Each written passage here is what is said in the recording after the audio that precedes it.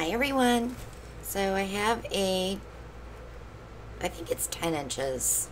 If we go point to point it's 12, but this way it's 10. Um, hexagon. I got just a little bit of house uh, milk paint left, so I want to use it up so I can mix a new batch. Um, if you stay tuned, I can actually mix it at the end of this painting. So let's start with the Galaxy Blue. These are our Pourage Posse paints.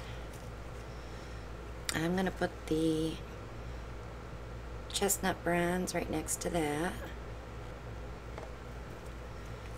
And then the Pourage Posse purple. I'll add a little milk paint. And tip that on its side so it won't be so hard to pour it out. Finish up this blue. Galaxy blue.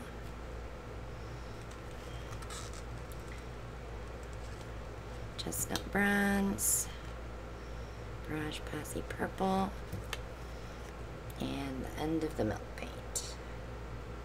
I love to use things up. okay. I'm just going to do a quick ring pour.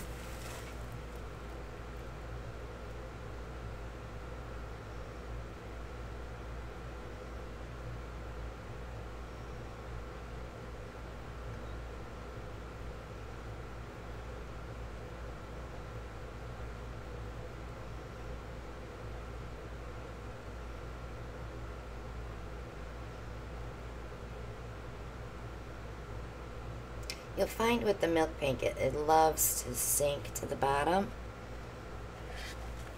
And then you end up getting it out last, which you know you didn't put it in there first, right?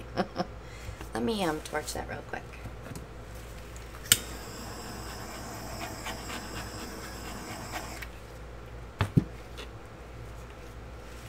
I'm just going to stretch this out. I have a base down, so it has to move.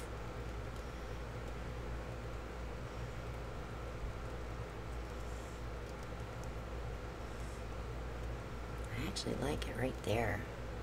I like it off-centered. Let me just bring this down just a smidge.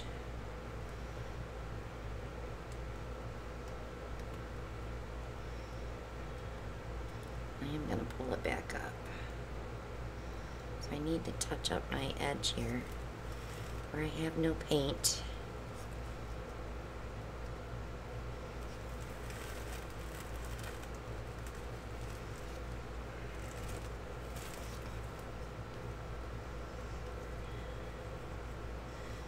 Good over here. okay.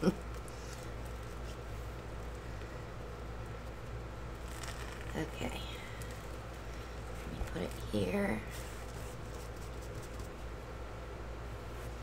Let me give it a torch. I still think I want to bring it back some more. I'm going to bring it this way some more.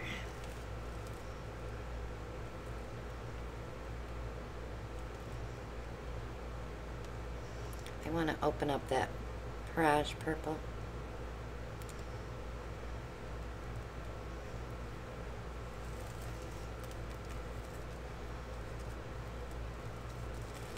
Alright, one more torch and we'll let it set 10 minutes.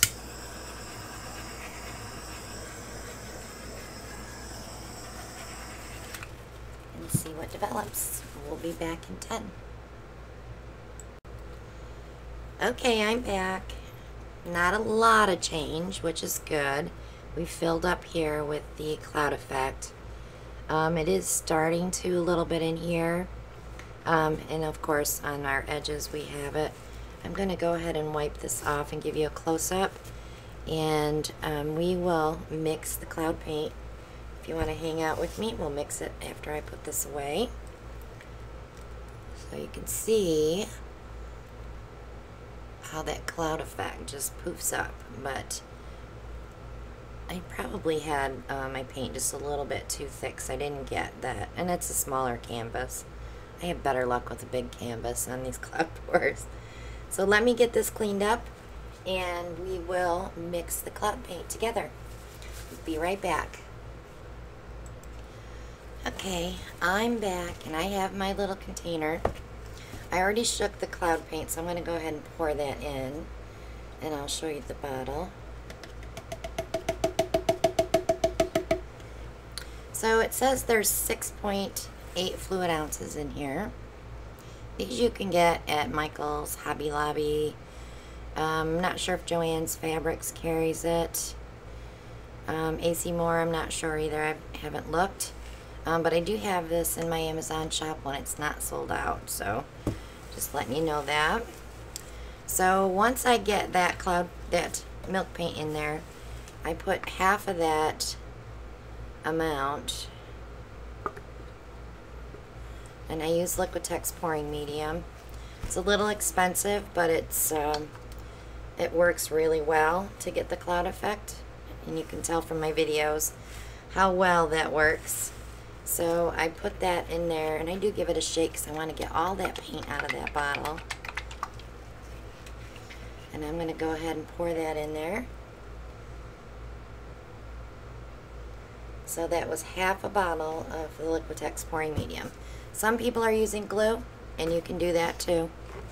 So then, I'm going to put two bottles of Floetrol.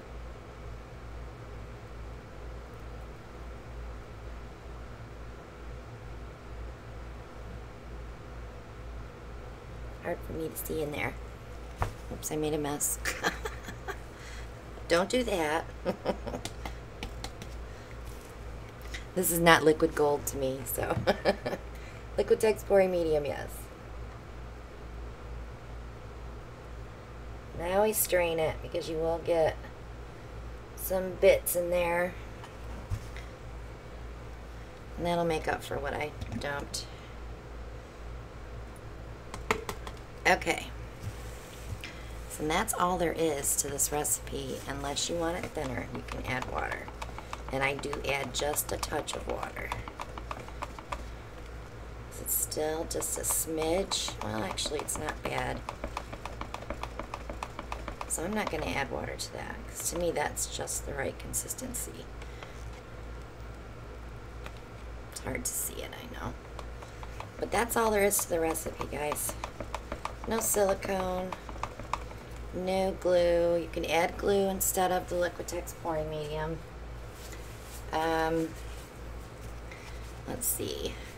The milk paint um, is a little expensive. Good to the last drop, right? and